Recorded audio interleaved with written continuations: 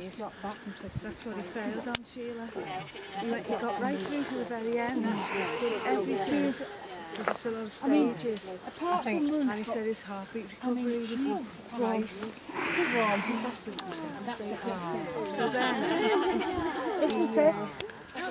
built a thing, a step up. All right, yeah. So well, valid. And then he started running around the estate. the second So The first time, hand, please. You know, because like you'd have to go, you do an interview, and then you'd have to do the smoke thing.